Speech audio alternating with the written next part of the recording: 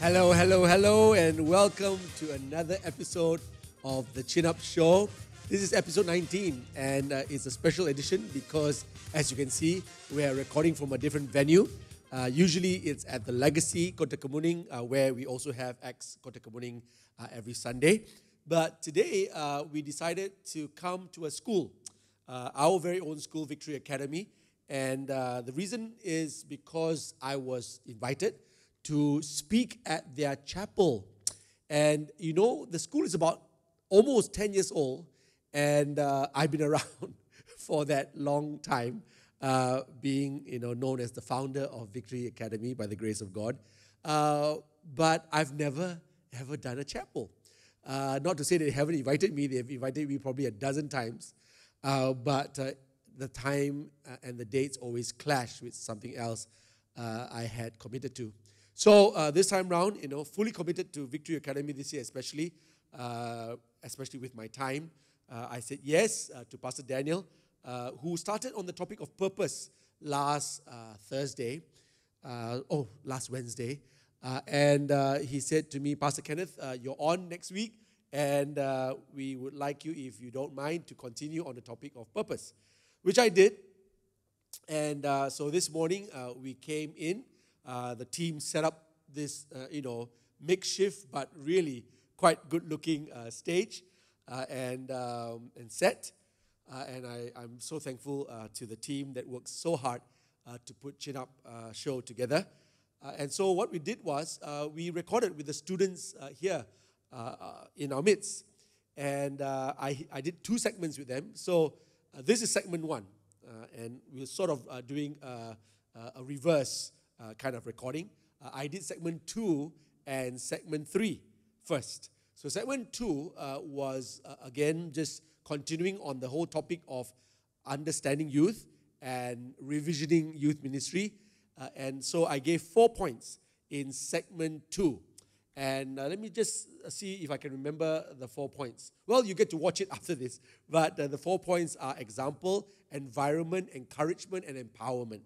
Uh, and I really believe in those four points uh, if you want to do well in youth ministry.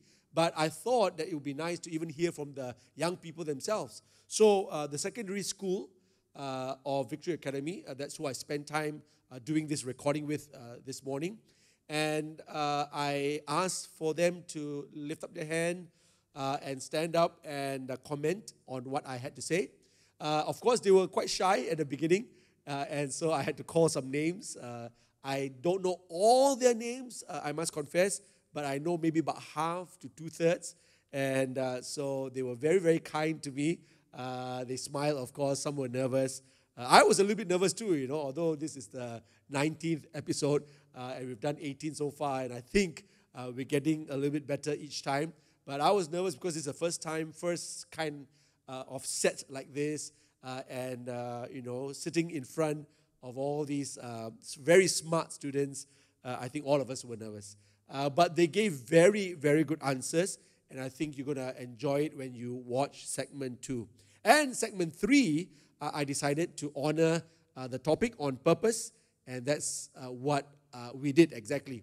So I put up some slides, and I had about maybe close to 10 slides. But because, um, you know, I went into greater detail on some of the slides, so I think we stopped at slide five, uh, I think maximum six. Uh, but you get to watch that as well. Uh, that is segment three, uh, the last segment of episode uh, number 19. Uh, hopefully, I'll have another chance to speak to the secondary school and finish off the last few slides, which are also very important. But you know, a highlight for today is that I also had to go to the primary school. The primary school is really, really very cute because they are from ages uh, maybe seven all the way uh, to 12. And uh, uh, Pastor Jack uh, told me, uh, well, he asked me first. He said, Pastor Kenneth, how long are you going to do this chapel message for? And, you know, I was already thinking of doing a shorter time because, you know, the attention span of the younger ones and also their understanding of some of these concepts uh, that the older ones would understand, the younger ones would find it hard uh, to uh, catch. Uh, so I decided maybe I'll go 40 minutes, right? uh, Pastor Jack said, um, usually we do 30 minutes, you know. And then he smiled at me and said, uh, if you want to do 20 minutes, it's okay. I got the hint, Jack. I got the hint. And I'm guessing, you know, that they would be bored, right, by 30 minutes, by 40 minutes. And so I decided to put my game on. Uh, you know, I've been working with young people now for 35 years. And so I just want to see whether I still have it, right? Especially with the younger ones. And so, yeah, I just thought I'll go crazy and uh, finish in 20 minutes, but they got the point. The students could actually repeat back to me when I was asking them, you know, like for example, uh, I use an instrument, right? And, and you know, the Bible speaks about how an instrument will have a distinct sound. And if the instrument doesn't play that sound, you know, for example, the trumpet, uh, how will people know how to go to war? And so uh, I use that because I saw them playing instruments, uh, shaker and uh, I don't know what you call it, clapper uh, and and a xylophone. so every instrument there has a purpose. And of course, I, joked with them, right? I, I took the, the stick uh, that you used to play the xylophone and I started to scratch my back. And they all laughed, and I said, Well, it's working, you know. And, you know, uh, uh, at the end, they, they caught, Yeah, it's working, but it's not the purpose. And I took the clapper, the little cute clapper, and went ta ta ta ta ta ta ta ta ta, and uh, and you know it's supposed to make a kind of music, right? So then I went and went to a few of their heads and I started cutting their hair. So I started cutting their hair and they laughed and they squirmed. Uh, and I said, Why? Why are you laughing? You know, uh, I can cut your hair with this, right? And then, of course, I, I did a gross thing about, you know, taking one of my armpit hair out with the, you know, clapper. And they all went, uh, and I said, Well, I can, right? I can do this, right? I, uh, so you got to understand that when you're talking about purpose, you can. You can use this pen to scratch your back. You can use this pen to try to scratch your ear. But that was not its purpose. And there are too many people going around uh, saying that I can, right? I can sleep around. I can uh, use my hand, right? This hand. Uh, this hand is supposed to pray for people. This hand is supposed to shake hands. This hand is supposed to minister. This hand is supposed to bless. But we can use the same hand to fight and to punch and to slap. And so, yes, we can, but is it meant for that? And there are many young people who go around, even adults, who, yeah, you know, the way we use our time, the way we use our money, we can, you know. We can go for a Taylor Swift uh, concert uh, followed by another concert, for, and you can spend all your money, you can. Uh, but is that what your money is for? for attending all the concerts in Singapore? Or is it to maybe give to the anniversary gift, right? Uh, and uh, yes, I know I can scratch my back with this pen, but this pen is best used uh, to sign big checks Amen. Praise God. Okay, so uh, I had so much fun. The kids were laughing, and uh, the teachers later on came up to me and said, We really enjoyed that too. Uh, and uh, Pastor Jack was funny. He said, Pastor Kenneth, even if they didn't get the message, uh, it was a good laugh.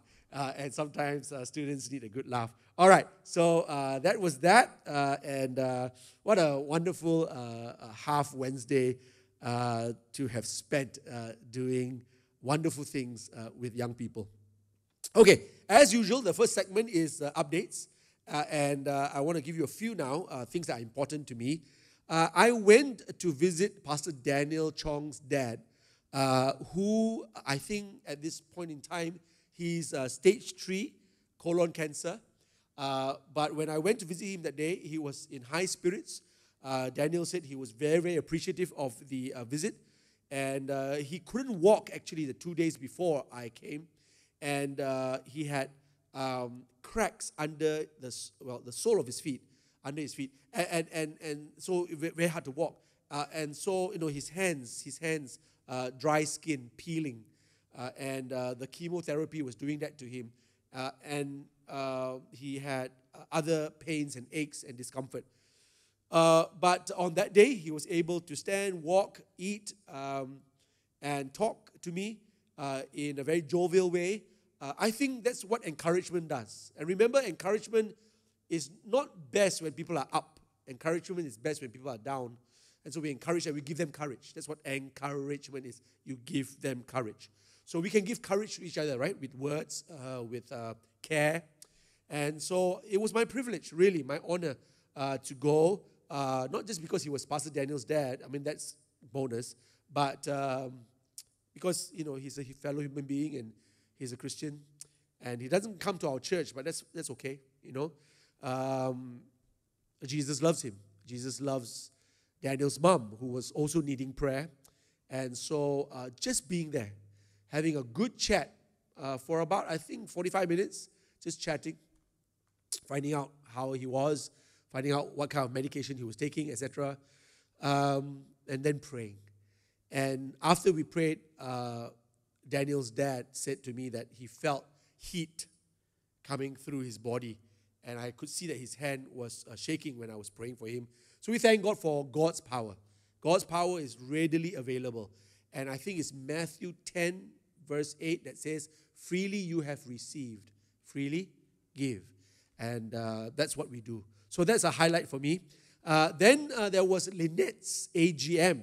Lynette's uh, stands for uh, Life Inspired Network Society. Uh, and um, Lynette's is all about mental health and suicide prevention. And so we had our sixth AGM, AGM number six. Uh, and uh, quite a few of the, us were there. I think only three people had to miss it. Uh, but it was a really, really good time. Uh, Jill, Dr. Jill, who facilitates that meeting, uh, kept saying, you know, we, we, we, we, had dinner together. So thank you, Lynette, uh, for feeding us that night. but we had a quick dinner, and then you know we wanted to finish by 8:30. But I think we finished closer to 9:30 because there was so much to talk about. so many wonderful testimonies of lives having been touched by and through Lynette's, uh, and um, uh, you know, uh, young people uh, blessed by what we had to offer in schools. and then, of course, the big one was a discussion. I think we discussed this for about 45 minutes. Um, the whole matter about applying for a government grant. Now, AYA and Acts Church has never applied for a government grant. Uh, we thought about it through the last 28 years, 29 years. Uh, and one time I even met with the uh, um, youth and sports minister, uh, Ong Tee Keat, I think, uh, YB Ong Tee Keat, I think uh, that, that was uh, his name. And he was so favorable that he actually wrote a personal letter to help us become a tax exempted um, organization. And that helps a lot because when you're tax exempt, uh, people want to give to you because they can then uh, also claim tax exemption for the gift that they have given to the organization. Uh, and uh, the one criteria that I wasn't comfortable with, or not just not comfortable with, but I, I couldn't afford to do it, was that at that time, 70%, 70, 70% of the donations that come in or came in uh, would have to go to the work itself, as in you know field work, young people, etc. And um, there was not very many donations coming in uh, to start with. So let's just say, for example, if I needed uh, 10,000 ringgit uh, to pay for rental of office, pay for uh, two staff, pay for electricity, all that, and 20,000 ringgit came in. Now, I would have to spend 70, 70%, right? So actually, if 20,000 ringgit came in as a donation, I would have to spend 10,000 on what I just mentioned. Uh, and that would mean it's only 50%. And I would have run foul of the law. Uh, but, you know, I only receive about 20,000. And so, and sometimes even less, sometimes 15,000. And so there was no way 70% could go just to the field work uh, if you know what I'm trying to say. So I, I just knew that I would run foul uh, of the law uh, and uh, break uh, that condition. And so I said, you know, of, of, course, if one million ringgit was coming into to, to donation, um, 70% is 700,000 ringgit going to the field. That's okay because I still have 300,000 ringgit left to pay for salaries and, and, and, and, uh, and rental, etc. So a very, very good letter came out. Uh, from the youth and sports minister at that time, uh, and uh, it went to the tax department. The tax department wrote to me and said that we have the endorsement of uh, the youth and sports minister, and we would like to consider your case, but I couldn't uh, proceed with it uh, because you know. So I just want to say to you that we've tried once or twice, but it didn't work for us, and so through the years, it's just been the Lord's grace and goodness. It's been His provision. It's been Him the Lord, Jesus Christ, uh, who has been providing for AYA and Acts Church. Miraculously, month after month, we get to pay all our bills. And then, of course, the church, Acts Church, came uh, to birth, and then we grew and grew and grew and grew and grew and grew. And Acts Church uh, started to become our main funder uh, for all that we do. Now, it's not very much left over. Uh, sometimes just a couple of thousands left over every month. Uh, now and then, you know, maybe 10 to 20,000 ringgit uh, left over, but a lot of hundreds of thousands of ringgit go out uh, to uh, make this ministry work and to be a blessing to many people. So when Lynette's uh, now is being offered uh, to write in to the government for a government grant, I thought, yeah, I think this is the time because there are just many schools, too many schools uh, to deal with. if they all invited Lynette's to go and have that uh, talk on suicide prevention and mental health, uh, I think we would need more staff. I think we would need definitely more resources. Uh, so um, I'm hoping uh, that uh, Dr. Jill and together with the team will be able to not only write a very good proposal, but on the day that we get to go and pitch to the government agency, that we will receive much favor. And they said that the first application uh, the amount that the maximum amount that they can give us is half a million. Maximum maximum amount amount for the first um, first application is half a million, and then if they see that you're doing very very well, uh, you're making a real difference, and uh, putting Malaysia on the map, as it were, uh, you know they might go up to a million, 1.5 million, 2 million. Uh, I, am not so big on the amount. I, I just want the government to know who we are, what we're doing, because with or without their help, we, we're still going to go on. We're still going to do it because God called us to do it, and I'm sure God will provide. Uh, but this is a very exciting uh, chapter. Uh, we're going to try to apply for this government grant and uh, pray. Please pray for uh, the officers of Lynette's, uh, and um, we will do our best to get this done as quickly as possible. Now, the next thing I want to tell you about, which is really, really exciting, last Saturday we had pray. The way we spell pray is P R 4 Y. 4 looking like an A.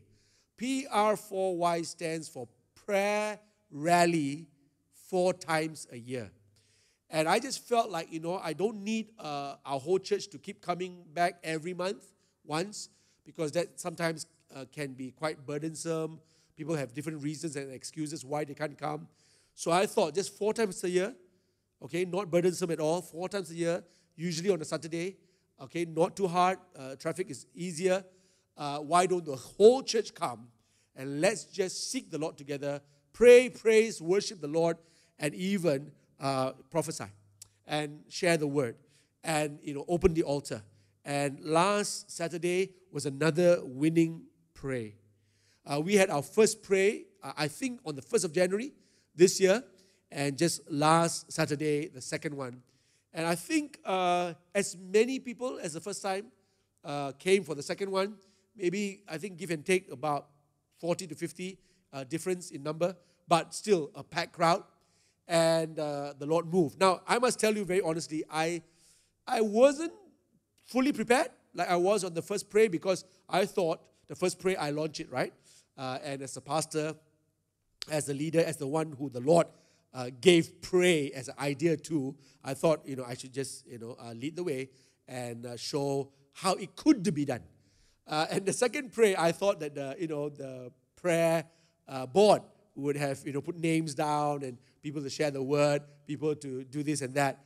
And I realized only when my wife, who was getting ready just after worship, worship was amazing. Okay, we had a great team leading worship, and we were so, so, so blessed Pastor Stephen, who's also uh, producing uh, today, uh, he is um, he, he was uh, one of the main uh, worship leaders. Pastor Daniel was on keyboard. It was a full and good team. And uh, as worship was about to uh, end, uh, at least the first session, my wife turned to me and said, uh, So, do you have anything? and I, I thought maybe she's just asking because, you know, that's out of respect. Usually my leaders will ask me before they go up. Even if they had a plan, they will still ask me.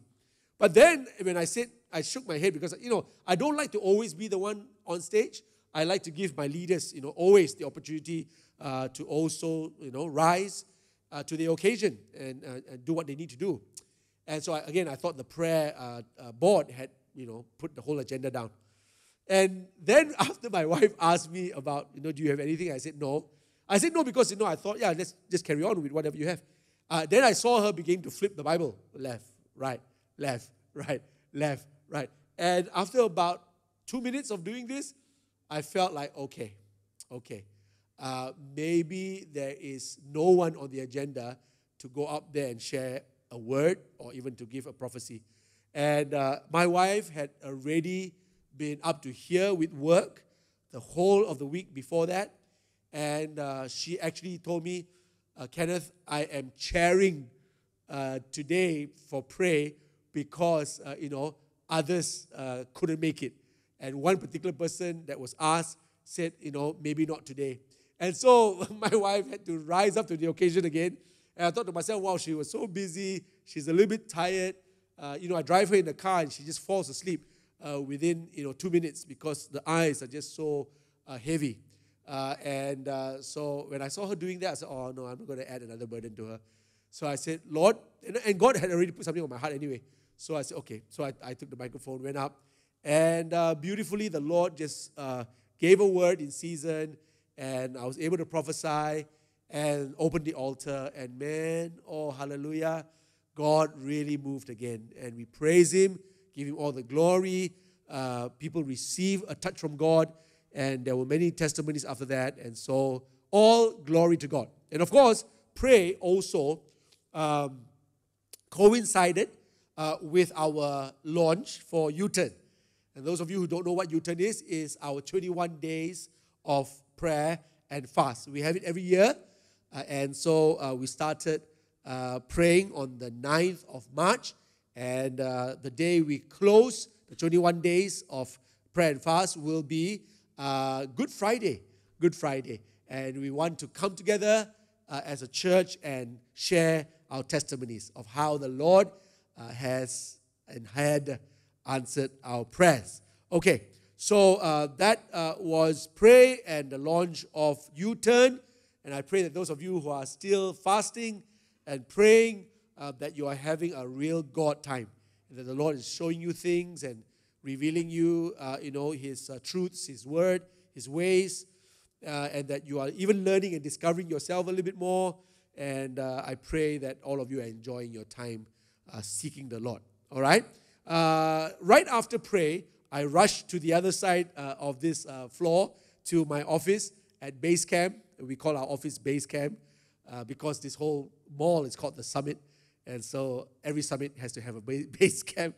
And so uh, our office, uh, I, I, I ran to, uh, sort of ran, I, I walked very quickly uh, to the office because uh, by 1 p.m., uh, we had our very first full on creative communications core team meeting.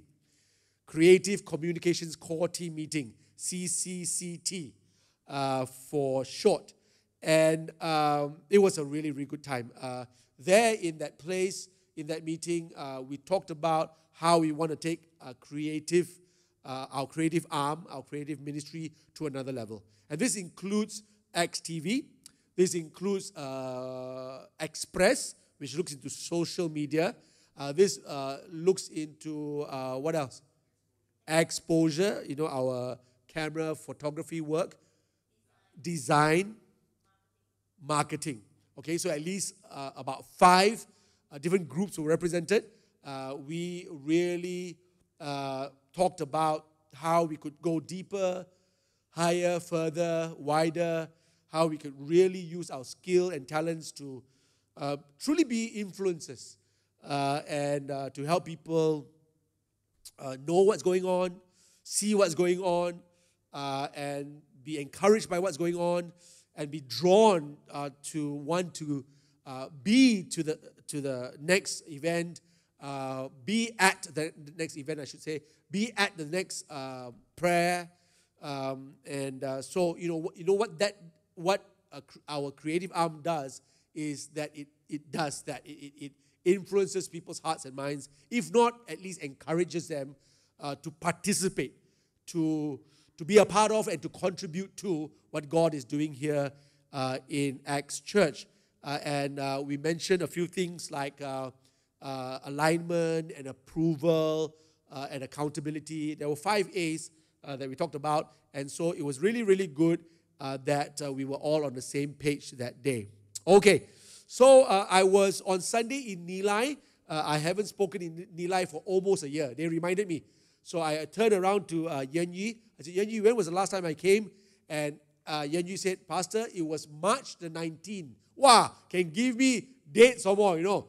March the 19th, and she laughed. She said, Pastor, the, the only reason why I remember was because it was the same day or the same weekend where we had uh, some kind of a youth outing or a youth overnighter. And so March 19th. And I was there March the 10th, right? Last Sunday. So uh, nine days short of one year. So at least I can say it's not been a year. no, it's been close to a year uh, but on that day, the Lord led me not to carry on with my uh, scheduled, prepared message because during worship, the Lord spoke to me and said, I have a word of prophecy for uh, Nilai. And so I spent the next 45 minutes to an hour delivering that prophecy, that word of prophecy. It had to do with Joseph and Joseph's life uh, and how Joseph went from being a pet of his father into the pit and the prison and then to the palace and the prime minister, uh, and he fulfilled his purpose. And so I spoke that to Acts Nilai and it was really, really good. Uh, I enjoyed my time very much uh, at Acts Nilai. But at the end, after lunch, uh, we also went to visit a potential new venue. And uh, they wanted my opinion, they wanted my sense of what could be. And so I saw a lot of potential. And the management of that new venue was very, very favorable to us. So we praise God for that. And um, yeah, who knows? Uh, Acts Nilai may have a new venue within the next month or two. So God is doing wonderful things in Acts Church. Quite a few of our churches are actually actually looking at new venues also. Uh, and I believe that uh, God is in the business of just multiplying us, uh, uh widening uh, our influence, uh, and growing our churches. we give God all the glory. I've just got uh, maybe one or two more things to say to you, and then I'll close this segment. Now, uh, yesterday, Tuesday, uh, I was early. Uh, every Tuesday, I try to wake up by 4.15 in the morning. I do my quiet time for about an hour, an hour, five minutes, and then I go and take my uh, shower, get ready, and by 6 a.m., actually yesterday was 5.55 a.m., I start driving out of the, of the house because I want to get here early. Uh, my wife comes along with me, so we go to base camp first, open base camp, by 6.10 in the morning. And then uh, I'm walking here by 6.15, 6.20. Uh, we open uh, Victory Academy uh, by 6.20, 6.25. Uh, and then we prepare for the teachers' breakfast. Um, we call the teachers of Victory Academy Overcomers. So we have Overcomers breakfast and then devotion. And my wife did devotion with, with them yesterday. and now you probably know why I'm quite sleepy already by 8, 9 o'clock at night because it's been a long day. Uh, but it was good. It was good that uh, the it was a full day. It was a good day yesterday, uh, and uh, we also had AYA staff devotion, and it was beautiful. Uh, then the hour of prayer was also very very powerful, uh, and uh, we thank God for the testimonies that have come in, and also the many prayer uh, items that was given to us uh, to give our prayer support to. And then towards the latter part of the day, we had the VA, Victory Academy Principal's Office meeting. I am currently the head of the principal's office. I'm not the principal, just the head of the principal's office, uh, giving direction and vision and, uh, and uh, support. And so we met from 3.45, um, thereabouts, in the afternoon, all the way up to about 5.35. Uh, I was looking at my time because I wanted uh, not to take and an uh, no, not even an extra minute uh, because you know it was it was the traffic was really heavy outside. How many of you know that in Malaysia, Puasa has started, so traffic can be really crazy, quite unpredictable, or predictably unpredictable. Uh, and uh, so I, I didn't want to hold back anyone. But the reason why we went so long is because yesterday was a very, very exciting uh, meeting we had at the principal's office. We talked about alumni. Yeah, alumni is very, very exciting. And so we were, talking about uh, who should be alumni. Uh, should it just be any student that, just, that came and then left? Uh, or should it be the graduates? We talked about how do we contact the alumni. We talked about how, do we put the alumni on uh, WhatsApp or Telegram. Uh, and uh, then we talked about student leadership. and now we have got clubs where we have presidents and vice presidents and secretary and treasurer. So this year, student leadership in uh, Victory Academy will go up to another level. But we also ask about how about uh, prefects and how about monitors and how about you know uh, just student leaders that help with assembly, for example. So student leaders will come up to the stage instead of Pastor Jack. Will be a student leader leading in Negaraku, leading in uh, Rukun Negara, uh, leading in uh, the Lord's Prayer. And so uh, we took a good half an hour, I think, just to talk about student leadership and how we, at the end of the day, want to come up with certificates for them and to write, you know, some of those school leavers documents so that when they go for uh, their uh, interviews uh, at universities, they'll be able to get, uh, you know, uh, some sort of paper document to support what they've done in school. We also talk about sports day, and that's a big one, okay? we are going to go to a place that is really, really nice. Uh, and uh, sports day is going to be different. We talked about the trophies and the medals and what we're going to do. Uh, all the medals and all the trophies will be given out this year at the sports day itself. So we're going to have pauses at the sports day, uh, and we're going to give uh, those trophies and medals out. So it won't be another day that we do it. It will be at sports day itself. And so I encourage all of you who are part of uh, Victory Academy to, you know, really save the date. I think it's April the 20th. April the 20th is sports day for Victory Academy. Come, join us, come, support us, come have fun. And of course, uh, the last thing uh, we talked about at uh, the principal's office was this big move that we are planning for from DVCC uh, to the bridge and to the other side, the peak uh, and uh, the, the base camp. so, for those of you who don't know, we are going to release DVCC that we have used for almost 10 years now. And I think it's at the end of May that we're going to say goodbye to this chapter and this season. Uh, it's mixed feelings.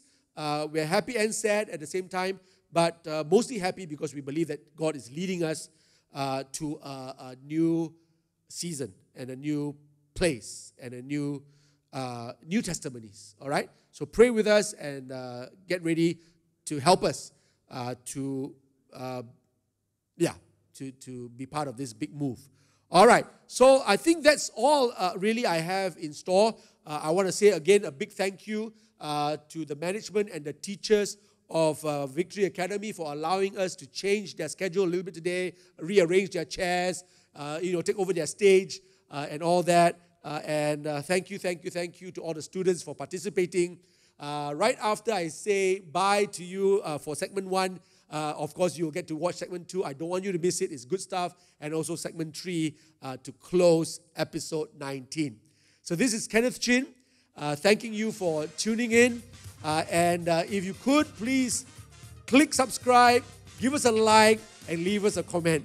The Lord bless you. Take care.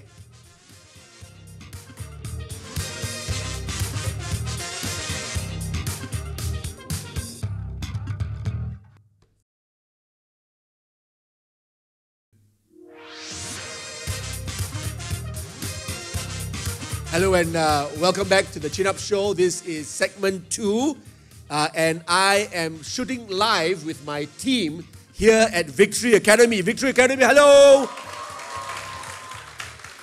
All right, so this is history making uh, to me and for me and for the team uh, because usually you see us recording at Legacy uh, there in uh, Kota Kemuning. Uh, but here today, uh, we are doing this for the very first time. Not only first time in Victory Academy, but first time in any school. So, history making indeed. And uh, you know, those of you who've been uh, watching uh, for the past 18 episodes now, this is episode 19, by the way. Uh, you know that for the past four episodes, I've been talking about reaching young people. The title is Understanding Youth and Revisioning Youth Ministry. And so, um, last four, uh, I think it was last three, maybe this is the fourth episode for youth ministry. we have been on this whole uh, thought about how to and why and when and all that kind of thoughts about helping uh, the adults, helping youth ministers, helping youth pastors, helping pastors uh, not only here in KL but uh, around Malaysia and, and the world. Uh, those of you who are watching, uh, we love young people and we want to be able to reach them effectively. And so I want to just continue with segment two of episode 19 with four points that I would like all of you who are watching uh, to know. This is just from experience. Uh, this is from uh, you know uh, the 35 years that God has uh, called me to uh, be involved with young people. And today, I'm so glad to be able to be in front of the young people and have them join us. Now, at segment three, I am going to be speaking about purpose, which is the topic given to me by Victory Academy for their chapel. In fact, this is chapel time. This is chapel time. For those of you who are watching, uh, who by now are thinking this is a cool school to be at, why don't you sign up? Uh, okay, this is a site site advertisement. And what do you what do the uh, students here think about that? All right, okay, they're clapping. Uh, so uh, the students and I and the teachers here invite you, uh, those of you who are parents and especially in KL, uh, Selangor, Subang Jaya, especially Puchong, maybe, huh? Kota Kemuning is not too far as well. Uh, and you're watching this and you're thinking, huh, I wonder, uh, you know, uh, the best school. Uh, I'm doing this as scratching my head, but I don't want to scratch my head because I just comb my hair. Uh, and uh, so you're thinking, you know, I, I, want to send them to a good Christian based school. so think no more. Come look for us, Victory Academy. We're here uh, at uh, Summit uh, Mall. Okay, maybe maybe my producer will put on a, a, a link to.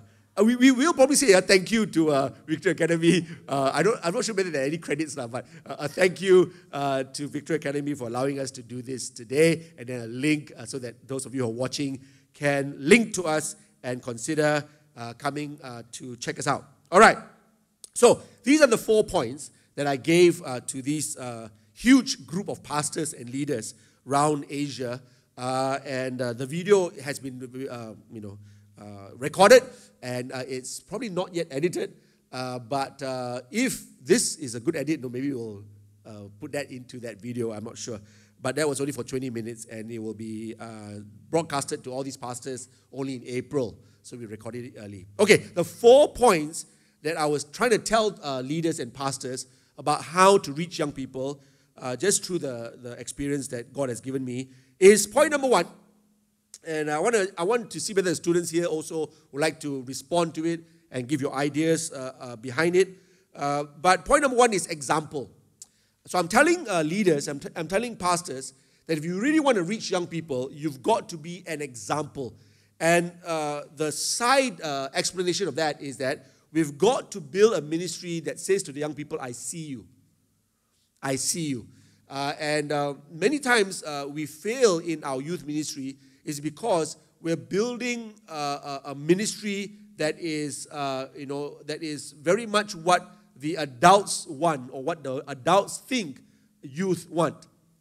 And uh, I, I, think it's very, very important. And of course, we don't do everything that is uh, young. We don't do everything that, you know, is, that, that looks like we are so into young people that we forget ourselves.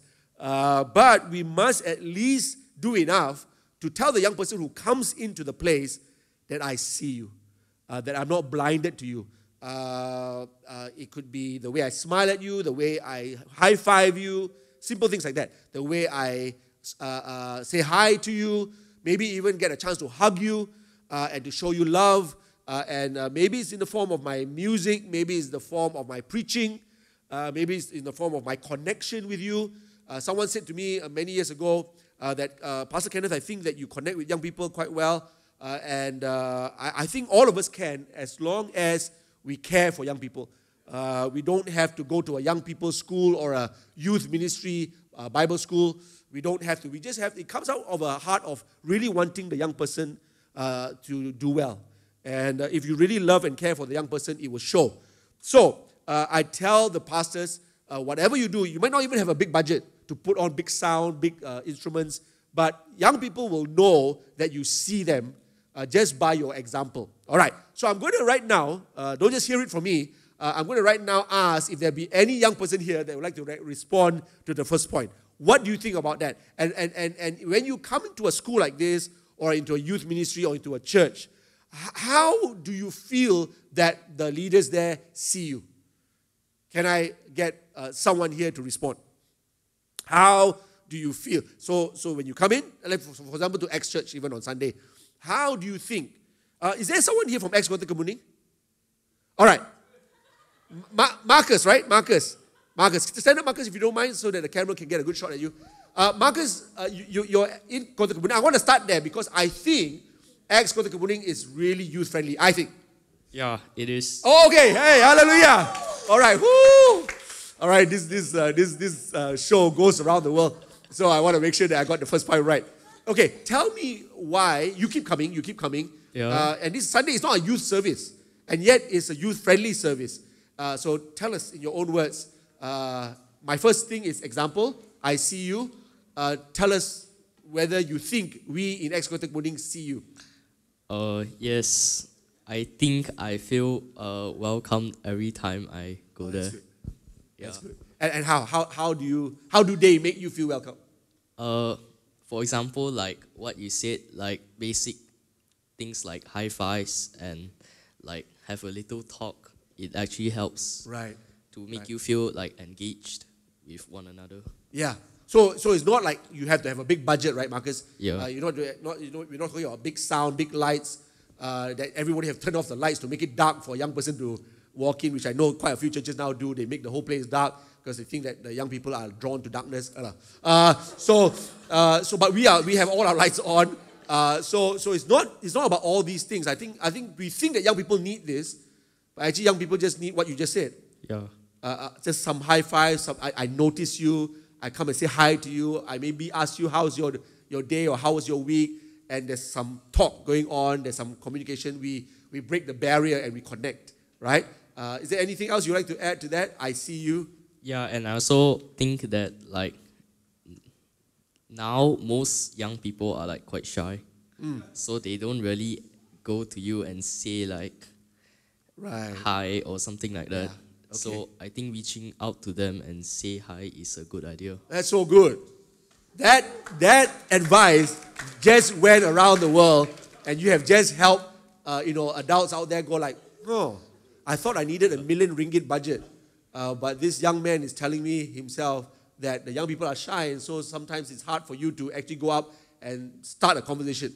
So the adults actually uh, take that uh, role of stepping out and uh, reaching out. That's good. Thank you, Marcus. Okay. Appreciate it. Now, I also said uh, to uh, the leaders, uh, the adults, that there is a ministry that Jesus modeled out called the incarnation ministry. And I explained that to you. It's not reincarnation. Huh? It's not you alive and then you die and then you get into somebody's body. It's not reincarnation. It's incarnation, meaning that Jesus, as God, came into the body of a human being. So he, he incarnated. So if you want to do youth ministry well, you got to come down to their level. You got to come into their world. Jesus left heaven, so beautiful, so amazing heaven must be, and earth will look like trash. Earth will be smelling so bad compared to heaven. And yet, Jesus, because He loves us, He came to us. And so, if any adult want to reach young people, go to them uh, uh, and, and be like Jesus, have an incarnation ministry, uh, and don't just, oh, you know, that young person didn't say hello to me. And sometimes the adults, you know, I know the older adults don't like when young people don't say hello, auntie, hello, uncle. And I know uh, young people should learn to do that, but sometimes, as Marcus said, they're shy, or they don't know what to do, uh, or they think that the adult is too busy for them. Uh, so I see you. Example uh, number one, I see you. Is there anyone else who would like to contribute to this thought? Anyone else? I see you.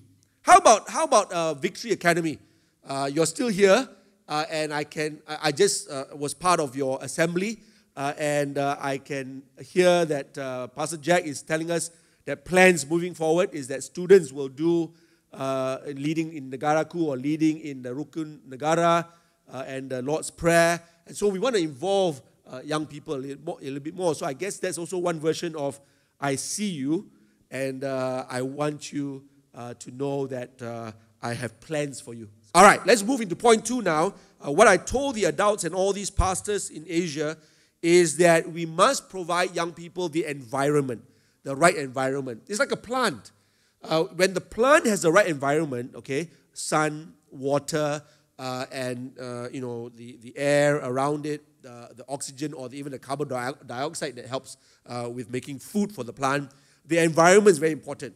Uh, and also, when you put a plant into a pot, uh, sometimes the plant can only grow so big. And when you take that same plant and you take it out of the pot and put it into your garden, you actually see your plant growing bigger because the environment can either stifle uh, your growth or it can encourage uh, your growth, stifle or strengthen your growth. Okay? So, environment uh, says this I accept you. I accept you or I receive you the way you are.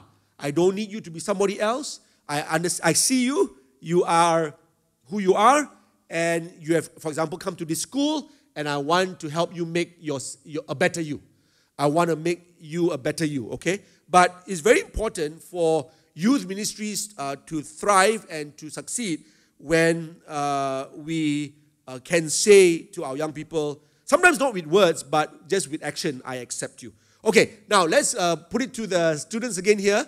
Uh, in what way uh, have you felt this in the environment that you are growing in, whether it be Victory Academy or your own church or your own youth groups? Uh, you feel, first of all, do you think this is important? That the adults say, I accept you. Uh, and if you think it's important, why do you think it's important? And what, in what way have you experienced the I accept, I accept you, uh, uh, uh, you know, uh, uh, vibe, the vibe, okay? Um, uh, who, who else would like to, who else would like to take it on? Emma, would you like to try? okay, the environment. You know that Emma, some of you know it, has been in Acts Church since she was a baby. All right, because her parents uh, were part of Acts Church for a long time. Uh, and then she's grown up, and I think uh, she's grown up uh, really well. Uh, and not only beautiful on the outside, but beautiful on the inside. and I'm putting her on the spot, right, in this live show. Emma, could you stand? And first of all, is this phrase, I accept you, important in reaching young people? Okay, I personally think yes, it is important for Why? many teens. I guess if you hear an adult say, like let's say for you, if you come to a teen, like a new teen, not say those who've already been in church, and you go like, oh, I accept you, or you show that you care. I guess it's very welcoming. It's heartwarming to the person because it's like, oh, it's a stranger or an adult that I've never met before, and yet they're willing to come up and say hi first or to engage in conversation. Yeah, that's good. So uh, thank you for that. That's, that's, that's very good. Uh, in what ways have you uh, received that vibe of I accept you?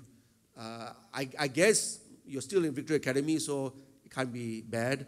Uh, even if you want to talk about school, uh, I, I'm, I'm trusting that the teachers here have shown that they accept you.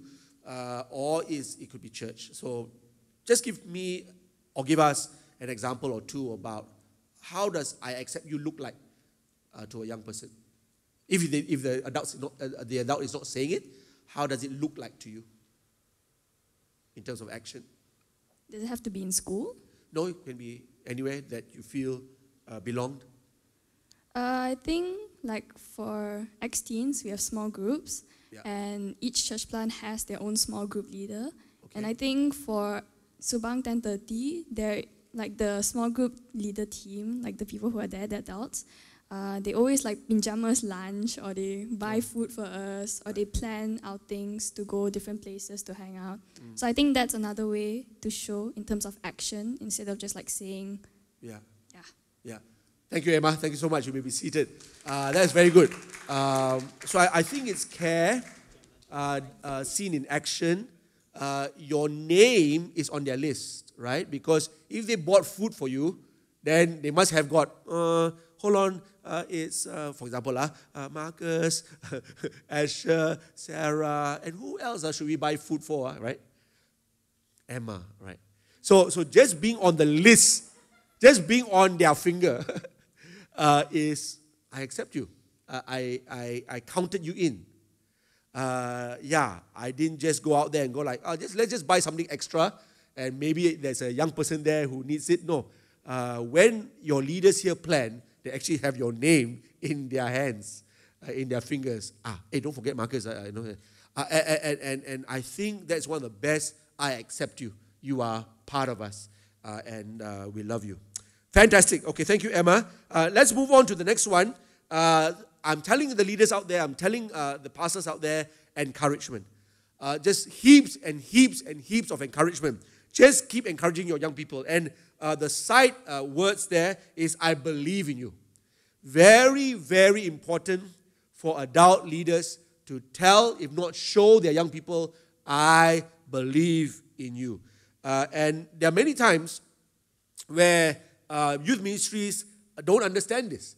Uh, and uh, they might have the, yeah, hello, how are you? You know, they, they, might have the example that I see you. They might have the environment, you know, okay, I'll feed you lunch and all that. But they don't venture into this third phase, which is really, really important, I believe, in reaching young people, is that young people want somebody to believe in them. Uh, because many times in our lives, uh, we are people that people might say uh, they are they should be seen, not heard.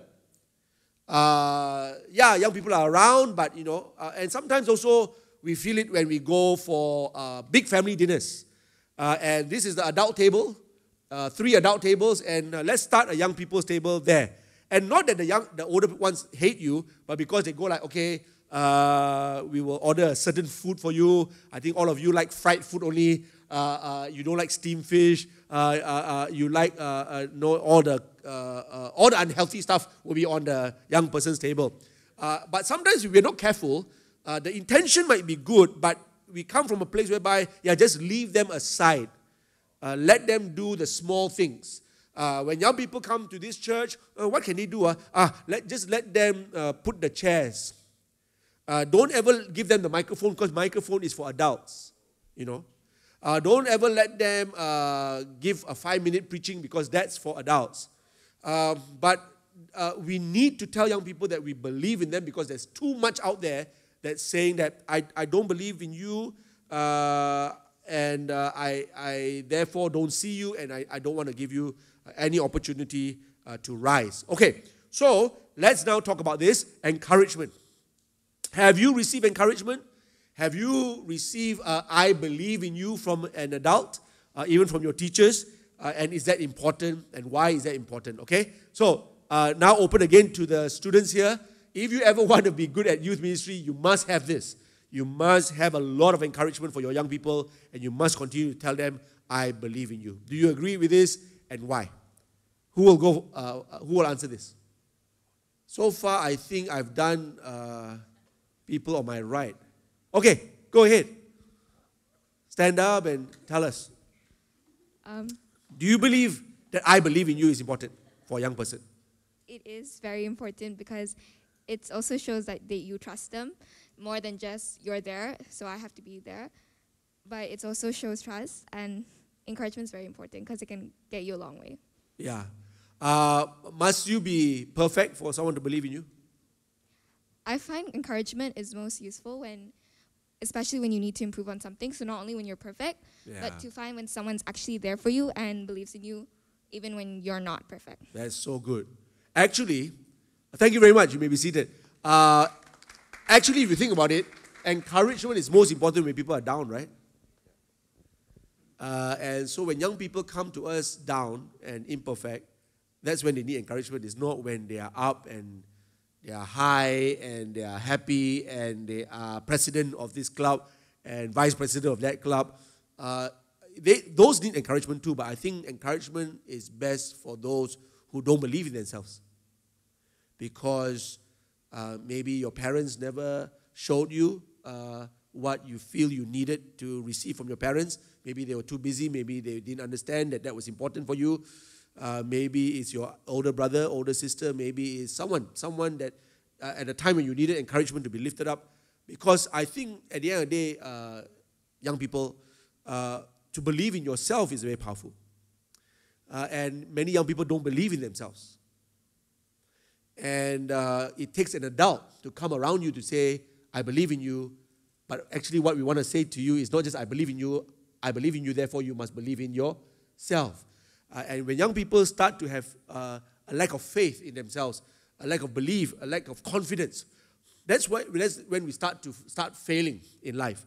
Uh, we fail in our exams, we fail in being a good friend, we fail in sports because confidence is really important in life. Uh, and we need to have confidence. Of course, we can have confidence in God, uh, but God also wants us to have confidence in ourselves, and uh, that takes believing yourself. Uh, so I don't know who I'm talking to uh, this uh, morning, but maybe I'm talking to somebody here who was, who's seated here who actually have a very low self image of yourself, low self esteem, and, and, and you never quite, uh, you're not, not able to break out of that, break through from that. So let me just uh, encourage somebody, somebody here. God believes in you. He does. Jesus believes in you. I believe in you. Your teachers here believe in you. Uh, and I, I think it's time that you believe in yourself uh, and say that with God all things are possible and do well. Finally, as I draw this uh, last, uh, well, as I draw this last point to a close of this uh, second segment of episode 19, the fourth and final point is empowerment. And someone, someone already said it I trust you. That's the words uh, that come with empowerment. I trust in you. So, can somebody here uh, tell us why I trust in you is important? Is it important in the first place? Why is it important? And uh, give me or give us some examples of what I trust in you looks like. Uh, and uh, we will draw uh, segment two to a close. Okay, so we've got uh, at least three people now answering. Is there one more that wants to try uh, point number four? Empowerment. I'm telling the adults that this is very important in youth ministry. If you really want to reach young people, you've got to learn to empower them. It means a lot to them. But why? Because it says, I trust you. How, who, who, would like to uh, tackle this? Uh, oh, Asher? Okay. Asher, stand up and uh, tell us.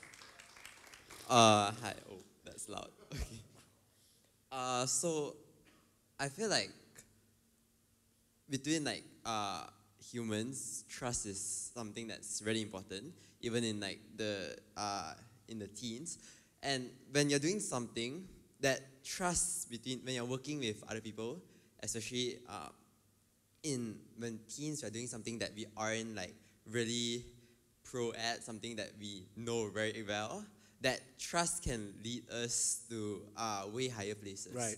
So like uh, let's say in let's say in like in the ministry we are serving, and uh, let's say we're just on like the sound team, and like I'll be just there. For example, I'll be like, what are all these uh, Right.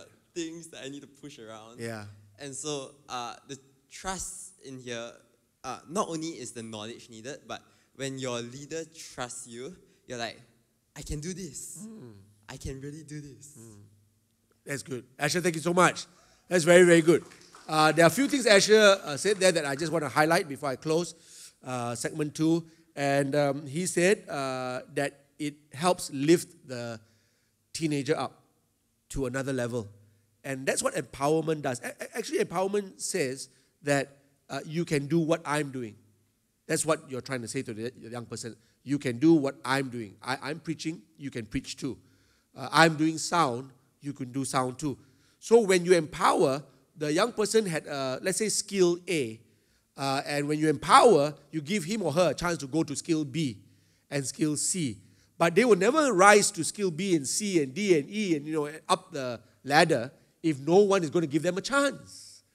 Uh, and that's why in the world it's tough because you know when you go and get a good job, you go to an interview and the interviewer said, You have no experience. So I can't hire you. And you go like, But I, I need exp- I need to get a job first to get experience. And you go like, No, no, no. You need to get experience to get this job. And you go like, What in the world? How do I get experience if, if nobody is going to give me a chance? You need to give me a chance. Uh, uh, well, did you answer chance? Uh, uh, chance. So this is very important. In, in school, I think that's what Victory Academy wants to do more and more, to give young people here a chance uh, so they can get better at leadership and whatever they are doing. Second thing, Asher, I, note, I noticed you said sound, uh, which is good because when you stand in front of that sound system, of course, with Alex uh, Martin next to you or whoever else that uh, he has put uh, to train you, uh, I like this, and, I, and, and, and for the fact that Asher brought it up, because you're standing in front of a sound system that costs, how much, Alex? Okay, it's 30,000 ringgit. Okay? So, uh, this is the thing, this is the thing uh, I find that adults often say they trust young people, but trust actually goes with how much it costs. Because if I trusted you with something, if it's easily breakable, and if it's costly, and if you break it and I have to come up with 30,000 ringgit to fix it or to buy a new one, the, the, the trust is not just with words, but it's with action because you're saying that I am handling something breakable. If someone passes you a baby, like a five day old baby, and you go like, you know, Asher, you can do it, and Asher is shivering. Because Asher knows that if he drops his baby, right, not only the baby dies, he, he, he might be the next one. Uh, but I think in many ministries, and now let me talk to the camera, let me talk to all the adults listening to this. Sometimes we give young people plastic toys because they go like, hmm, if they break it, then it's okay. But the level of trust when you give a person a plastic unbreakable thing is to tell him, I think you're going to break it anyway, so, but, you know, I can't really trust you with the real thing. And that's why young people join gangs. Uh, we don't understand it. I've been in this for 35 years, so I understand that gangs do very well because gangs, when a young person joins them at 12, 13, 14, they give a young person a knife. And that's very real. It's not a plastic knife. And they say, okay, go stab somebody, you know. And, and the young person goes like, oh, first of all, the young person will probably be shivering, huh? You want me to stab somebody? Uh, uh, and uh, no, you know, I, I don't want to stab, I don't want to hurt anybody. But by, by being given a knife that can do harm, tells the young person that this gang leader trusts me. And then later on, it'll be a gun, and later on, it'll be drugs, and later on, it'll be a lot of money, and later so the reason why a lot of young people are attracted to gangs, uh, leaders that you're listening to me now, uh, is because their leader, and of course this is a bad example, but their gang leader always gives them something real to deal with. Something that can hurt somebody, can break if they. So in church, we are very, very safe with our young people. Sometimes too safe. Uh, let them just arrange the chairs because what, what, what can they do, right? They can't break the chairs. Uh, and, and, and we won't give them five minute preaching because five minute preaching can hurt somebody if, if they preach wrong. But when you start giving young people a chance to handle breakable things and handle things that, wow, my word, you know, my leader must trust me a lot with this 30,000 ringgit sound system. How if I, how if I poured coffee? That's why you're not supposed to drink coffee or anything uh, near a sound uh, system. Uh, but you know, how if I suddenly, you know, uh, vomit on it? You know, because I'm so nervous. you know, I vomit onto the, the, the, the sound console, and you know, oh, it's gone. It can't be fixed. Uh, uh, uh, how, how if, right? And your leader puts a hand around you, go, it's okay. You know, I, I love you more than I love this sound system. And I believe in you more than I believe in this sound system. And if the sound system has to go, it has to go, but at least you learn something.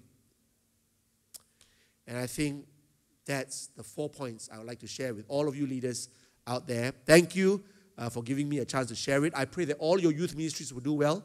Example, environment. What's the third one? Encouragement, and empowerment. If you can just ask God for wisdom to, to, to do this well, I believe your youth ministry will rise to another level and your young people will believe in themselves, but even in God, more importantly, and they will believe that God made them for a time as this. God made them to be special, that they can do something great, and uh, so it's going to be awesome. Uh, this is the end of segment two, and uh, we'll take a short break before we come back to segment three, which is our final segment for the day. God bless you.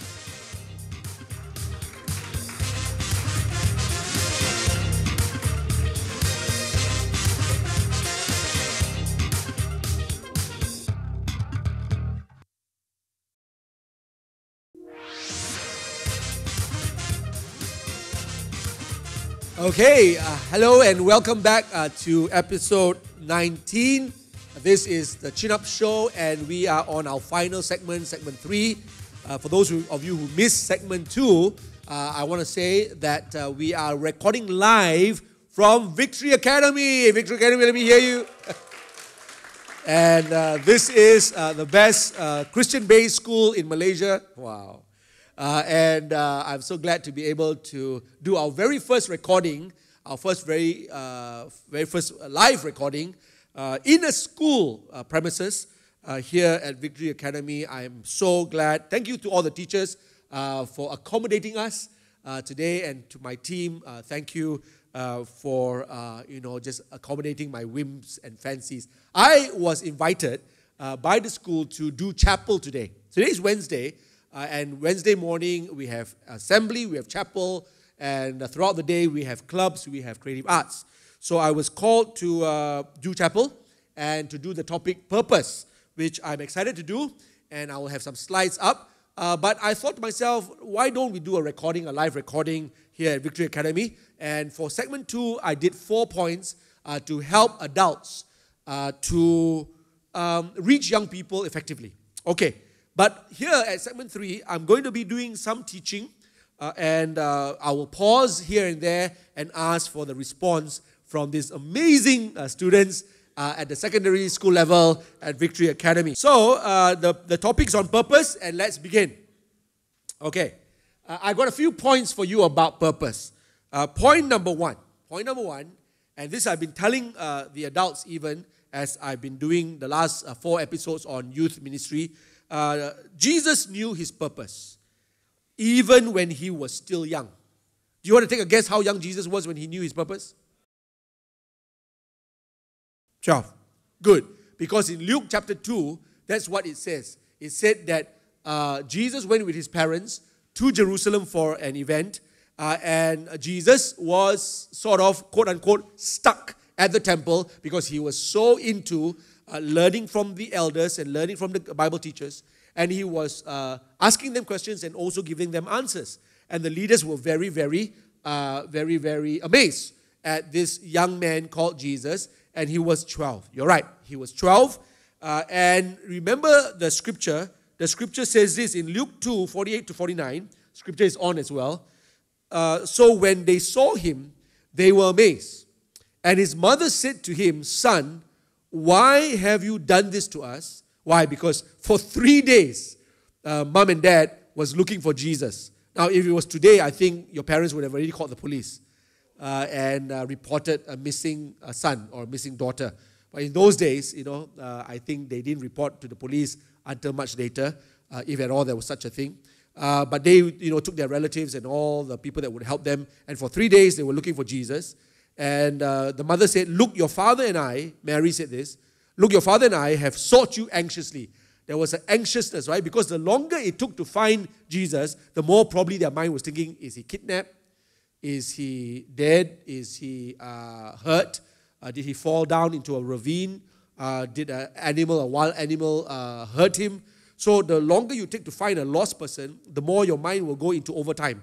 Oh my word, what's happening? Is she all right? Is he okay?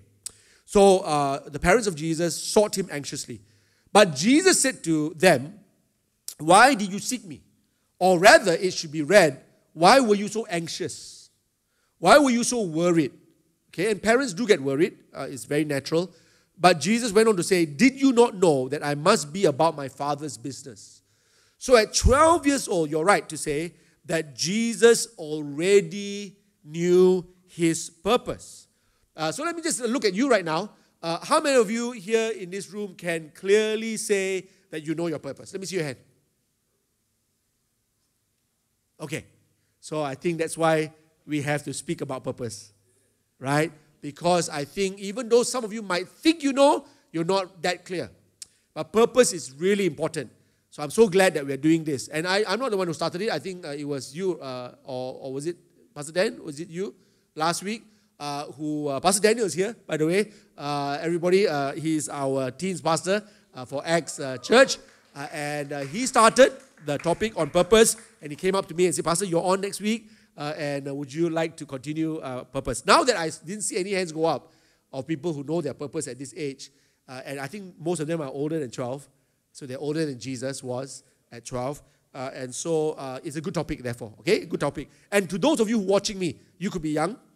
You could be from Penang watching me. You could be from Johor Bahru watching me. You could be from East Malaysia watching me or from another country. I know there are a lot of teenagers in Africa who may be watching this. Uh, you could also be like the young people here. You, don't, you yourself haven't put up your hand because you go like, yeah, Pastor, I, I also don't know my purpose. Okay, well, well, first of all, Jesus knew it and he knew it at 12. Uh, so it's possible to know it at young age. Okay, let's look at point number two.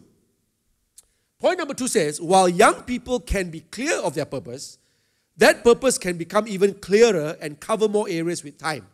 So this is important to note that even if you are clear with your purpose today, you go like, yeah, I think God has given me life uh, to one day uh, give back to other young people. I think that one day I will be like a youth pastor or a youth worker or a youth counselor. I think one day I might be a teacher and I will help other young people. Maybe at this age you're thinking, yeah, I want to be a teacher, I want to help other young people. Maybe you go like, I think I know my purpose. Mm.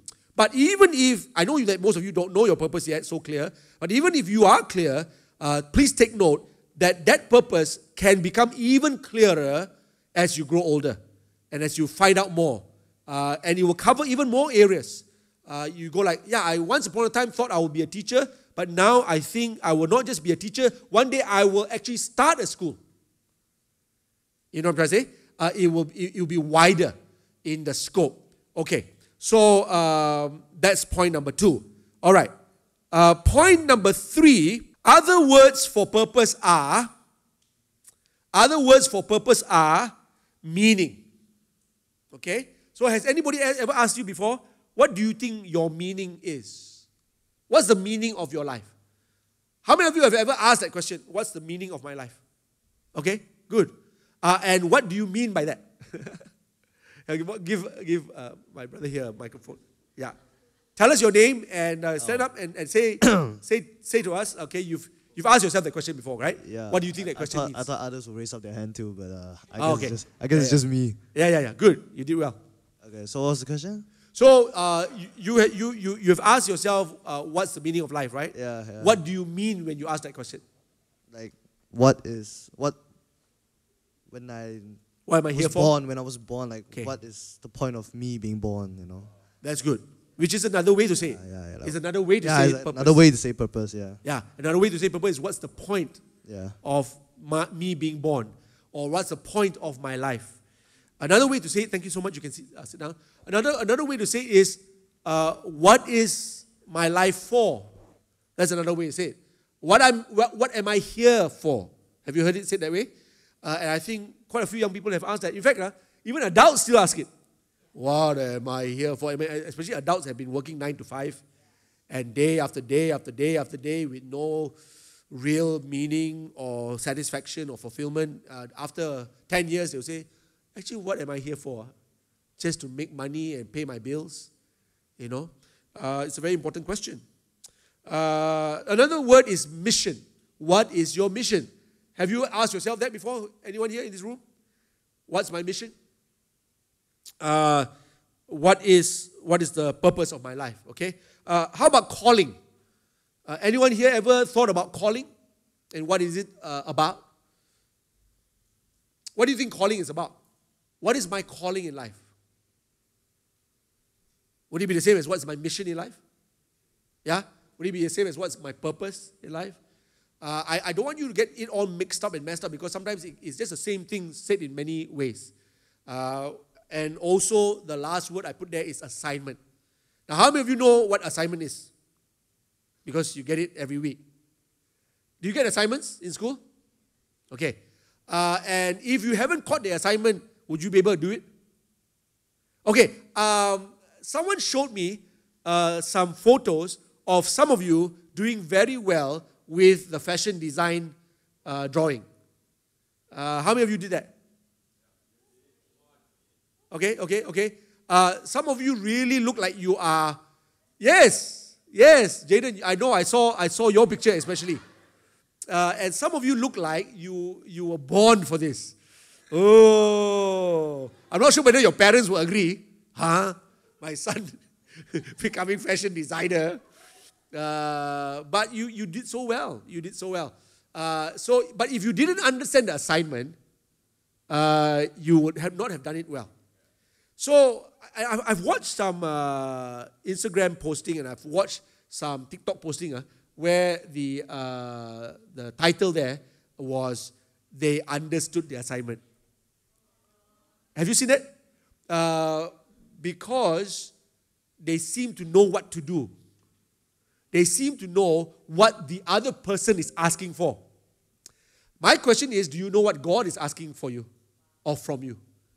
Do you understand the assignment of your life? Because if you don't, then every morning when you wake up, you don't really know what life is about, and you don't and you won't know how to do the job and finish the work. And by the time you end up at night, you go like, the assignment for today is finished. I mean, homework is also like that, right? You know when you finish your homework. But every life, everyone in this room has an assignment. And I want you to understand your assignment. Uh, it's important to understand it so that you can fulfill it. All right? Uh, I like Ephesians chapter 4, verse 1. And this is what Ephesians chapter 4, verse 1 says I, therefore, this is the Apostle Paul writing, the prisoner of the Lord, beseech you to walk worthy of the calling with which you were called. Let me break it down for you. Let me break down this scripture for you.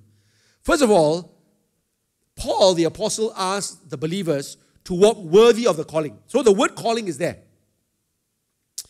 The word calling is biblical. The word calling is of God. God believes in calling, He gives us all calling. And so, Paul the apostle is asking all of us to walk worthy of the calling. Now, the, the word walk worthy in the original Greek, so the Bible you know in the New Testament, New Testament was writ- written in the Greek language. The Old Testament was written in the Hebrew language. So if you want to do a Bible study, when you look into the Old Testament and you want uh, the original meaning of a word, go back in, in the Old Testament, go back to the Hebrew language, learn the Hebrew language and go like, okay, this is what it means in Hebrew. So I get a better understanding of what it really means.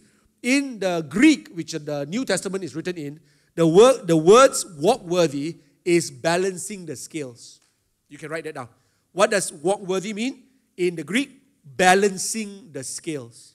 Have you ever seen a, a scale, how in the market or wherever they balance it? Okay, they, they will put a, a, a scale, a, a weight on one side of the scale, and they'll put uh, vegetables or food or whatever on the other side, and it's supposed to balance. And once it balances, then they know how heavy uh, that vegetable is or how, how heavy that meat is because the weight on the other side will tell you, okay, it's two kilograms. And so once you put uh, things on the left hand side, for example, uh, and it starts to balance, once it balances, then you know because you put a two kilogram weight or a one kilogram weight on the right hand side, and because it balances, then this, whatever it is that you're trying to balance, uh, will show that this also is two kilograms or one kilogram or whatever the weight is. And God is also into balance. The Bible speaks about balance, and the Lord wants our lives to be lived at a balance. That means it cannot be too much play and not enough study. It cannot be too much study and not enough play. There cannot be too much uh, just uh, classes in the classroom and not enough clubs and chapel. Life is about balance, and God is about balance, and God tells us about balance. And here, Paul is saying, walk worthy. So, if you really want to walk worthy of your calling, you must balance your calling or your life with your calling. So, for example, uh, me, okay? Uh, when I was a sportsman in my school, uh, I was one of the top runners in my school. So I ran the 400 meters, uh, and I, I, I was a champion in my school for 400 meters, uh, champion for 4, 4 by 400 meters, and I, I also won the 4 by 100 meters. I was, I was a sprinter, but not the best. Uh, I was a long distance sprinter, uh, so that you need stamina. Uh, and I felt like it was my calling, at least that time when I was 16, 17. I started at 15. Uh, and I became the top runner in my school, and I thought it was my calling, it was my assignment, it was my purpose uh, to be a good, good athlete uh, for myself and for I got a lot of medals in the in the house. But it was not just individual medals that I was for. I won for my team. I was part of a team called Blue Team, And blue team, uh, uh, sort of, is always either number one or number two, number one, number two. It is people like us, uh, those days we are good at sports, that raise up the team because we give the team a lot of points. Uh, so I thought it was my calling to be really good at what I did. So the, the people asked me, Your father, they said, Kenneth Chin, your father took drugs uh, for 30 years. My, my father was on ganja, marijuana. And he was a father that was uh, most of the time high on drugs. And so he was absent father. Uh, he will hit me and he will hit me with his belt. One time I was, uh, I forgot to close my room door. And uh, he, he didn't like it. He, he said, Kenny, calls me Kenny, why, why, don't you close your room door? I said, Dad, I just went to the toilet just for one minute. Uh, I, I was going to come back in my room. He says, No, I told you before, you always close your door whenever you go out. So he took out his belt and he slashed me uh, and whipped me for about 12 to 13 times uh, just across the body. I think one or two hit my face. Uh, and I just stood there at about, I think I was about maybe 13, 14 years old. I just stood there to let him hit me because he has hit me for, uh, you know, as long as I've known. Uh, he hit me when I was four, six, seven. You know, uh, he, every time he doesn't take drugs, uh, he would be very violent. And then he would go and take his drugs and then he'd be high and then he'd be all fine. And then he said, Hey, Kenny, why are you crying? He forgot that he hit me. So I, I, I was living my life like that uh, with an abusive father, a father on drugs, uh, addicted to drugs. But by the grace of God, I was able to forgive him because Jesus put forgiveness in my heart to forgive him. And my dad died uh, practically in my arms. Uh, he died from stroke, he died from a heart attack. He stayed in my house because God said, I want you to take care of him. Actually, I, I hated my dad so much. Uh, but the Lord says, No, you must love those. Uh, your, the Bible says, Love your enemies. Uh, and uh, so I, I was able to love him. And I brought him into my house. I was already married by then. Uh, I said, You know, forget my dad. I don't, want, I don't want to stay with him. I don't want him to stay with me. But the Lord said, No, take care of him even when he's sick. So I brought him in. What I'm trying to say is that I had a very, very bad background, very sad background, a very abusive background but I never touched drugs, not once. I tried to smoke once, one, one cigarette to try, uh, and uh, I, I, I, hid from my father. I, I smoked under my bed.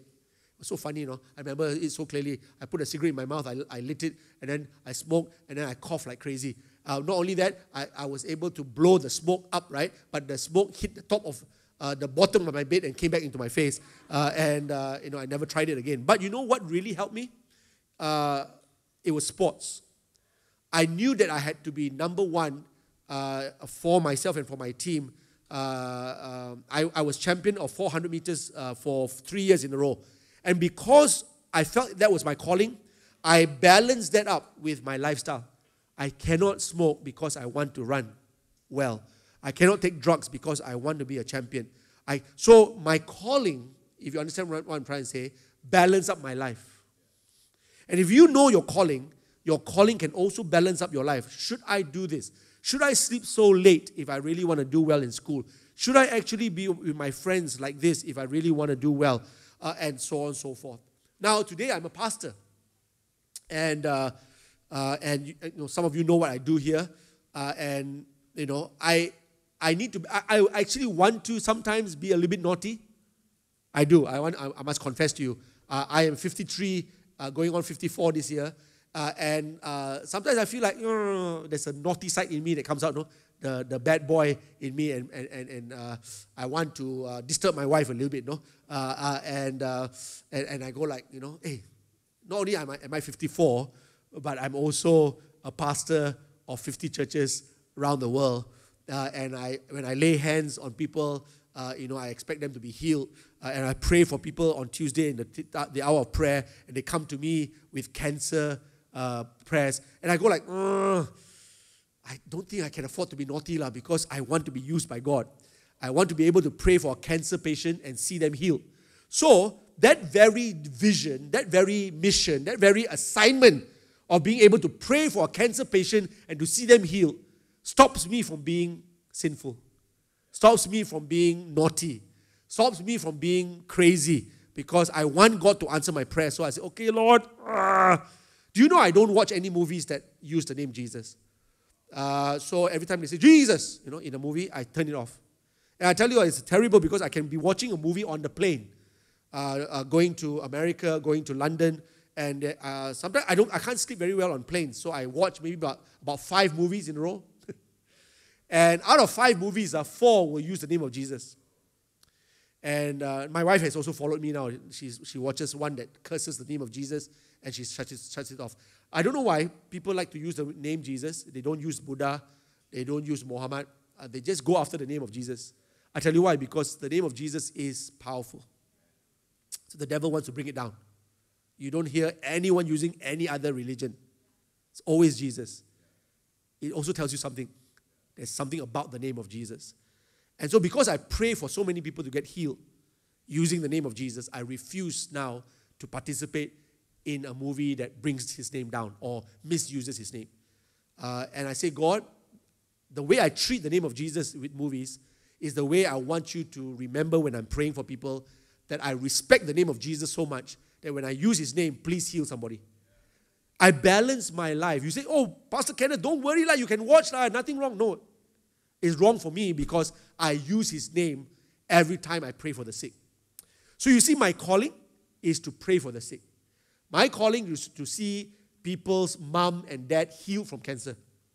I really do love people. I love to see people break through from suicide thoughts. I want to lay hand on, uh, on a young person and suddenly the young person no longer has suicide thoughts. I, I, I don't know whether God will do it all the time when I pray. I hope so. But I, I at least want to respect the name. So every movie that has the name Jesus uh, used in a bad way, uh, used in a disrespectful way, I chose not to watch it only so that God can remember me every time I pray. I respect that name. I say, in Jesus' name, cancer be gone.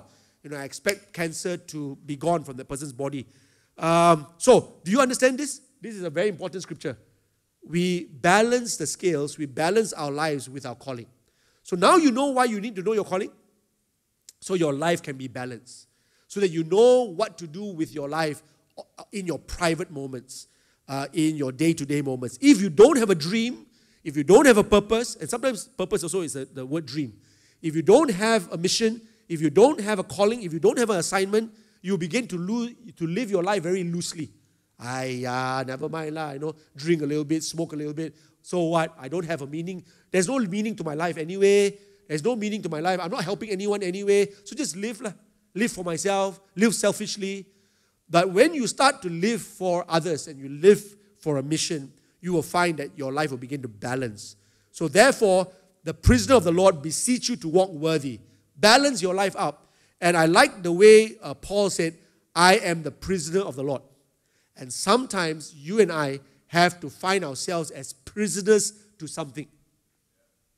What does a prisoner mean? You are bound, you, you've got handcuffs, you've got chains around you. I am bound to this life that I refuse to watch, for example, movies that put down the name of Jesus. He said, Wow, Pastor, sounds like you are bound. Sounds like you are a prisoner. Because when you can't watch a movie that, you know, tells uh, or, or uses the name of Jesus disrespectfully, means you are bound to that. You are a prisoner of that, Kenneth. And I say, yeah. Paul also said, I am a prisoner because I have an assignment. If you don't have an assignment or purpose in life, you will live like a free man to do anything you want under the sun. But the, the secret of uh, uh, living your calling and your purpose is you must come to a place whereby you accept that you are a prisoner of somebody. And I accept that I am a prisoner of the Lord Jesus Christ. Everybody okay? I'm a prisoner of the Bible. The Bible makes me a prisoner, and I willingly be a prisoner to the Word of God because I say the Word of God leads me. The Word of God guides my every character, my every personality. I bind myself, I make myself a prisoner to the Word and to the Lord. And so Paul said, I am a prisoner of the Lord. Some people don't like that word because every young person like to be free. Don't tell me what to do. I am free to do whatever. I, and, and the more, you, the older you grow, the more free you want to be. But when you are free like that, it just means that you have no purpose. So let's, let's uh, move on. Point number four. Uh, there is a general purpose and there is a, there is a specific purpose. Okay, take that note down. I want you to know that. Uh, the general will of God, for example, and the specific will of God. How many of you here uh, would like to try to uh, explain this to me? What do you think this means? General purpose and then specific purpose, compared to a general will of God and specific will of God. Okay, uh, Sarah, maybe you can try. What do you think this means? Sarah, where's Pastor Dan? What do you think this means? What, would you think a, what, what do you think a general purpose is and a specific purpose is? And I put it uh, in bracket, you know, it, it, it is, for example, the general will of God and the specific will of God. What, what do you think it is? Yeah?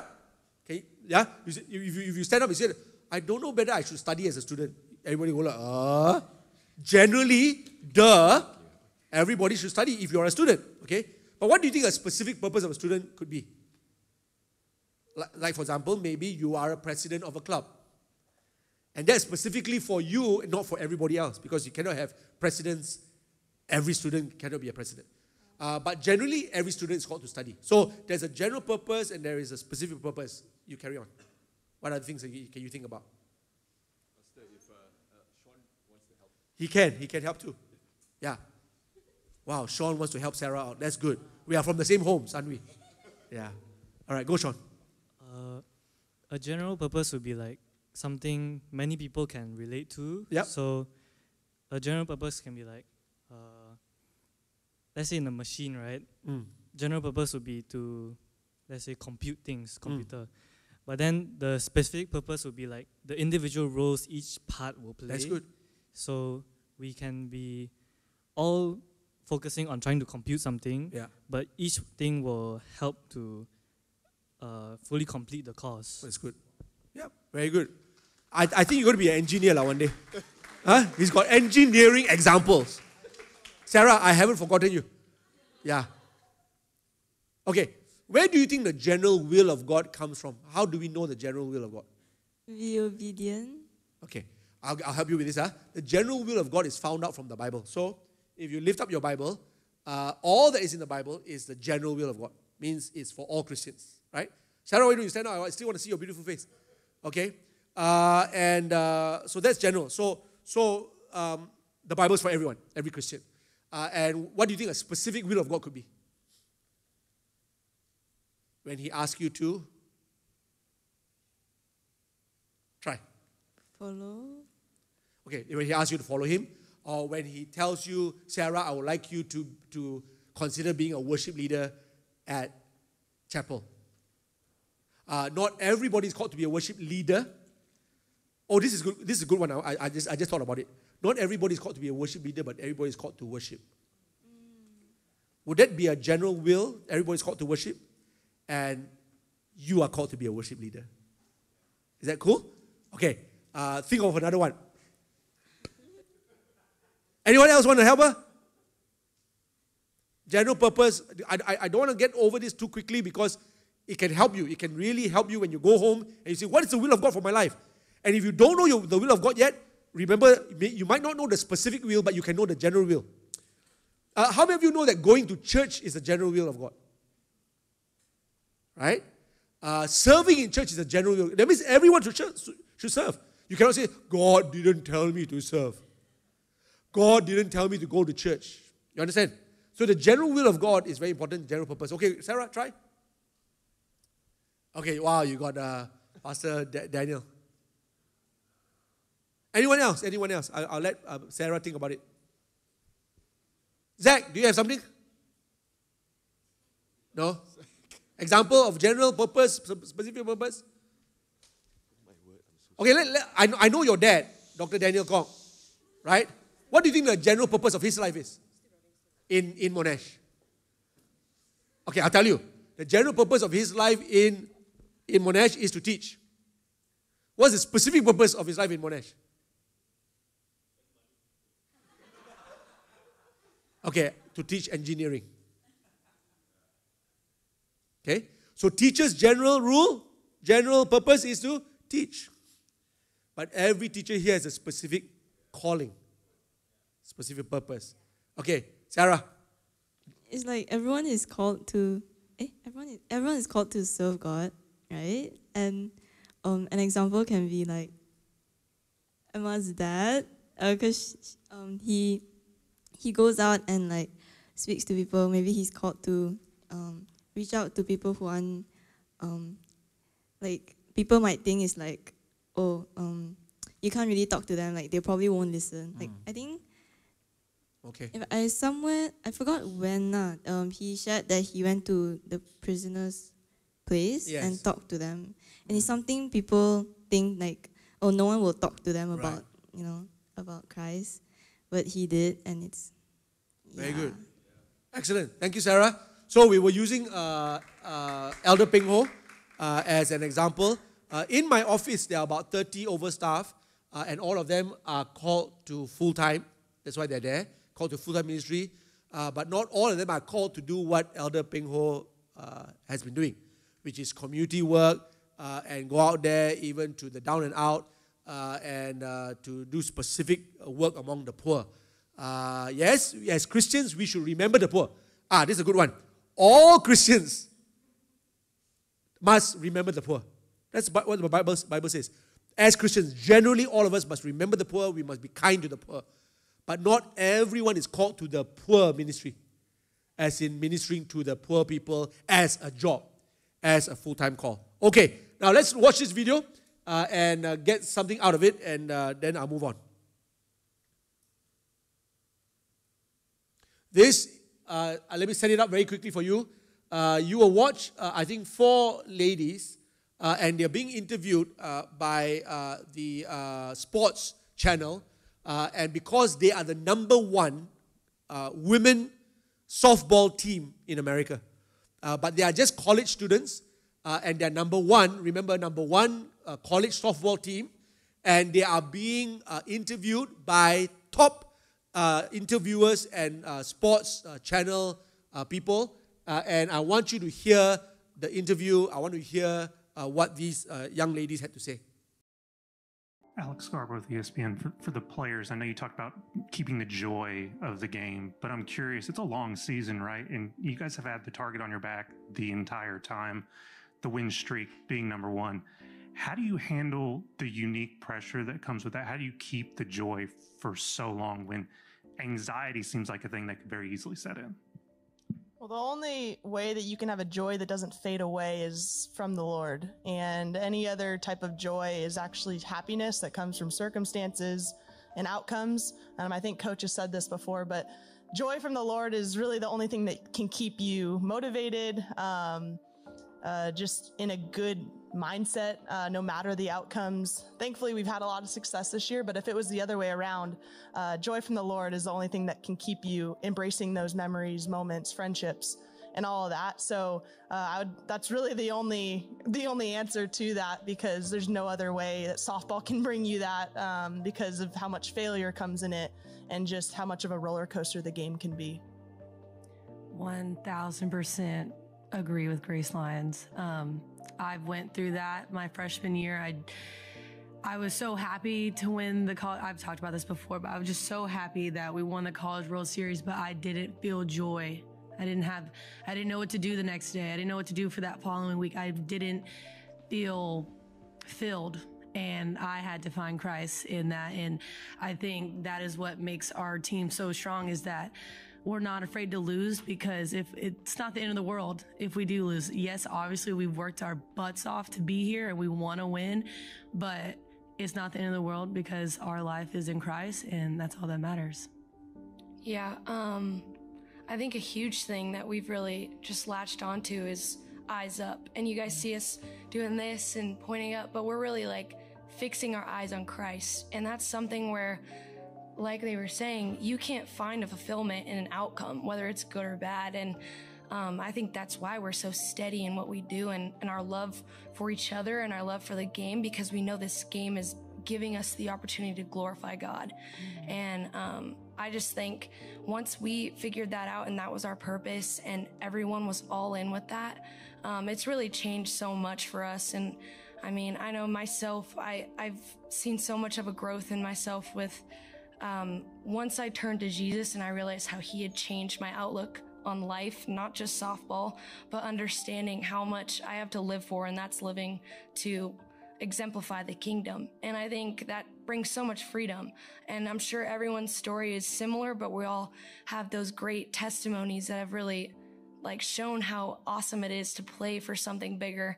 Um, and I think that's just what brings me so much joy. And no matter the outcome, whether we get a trophy in the end or not, we're, this isn't our home. And I think that's what's amazing about it is we have so much more.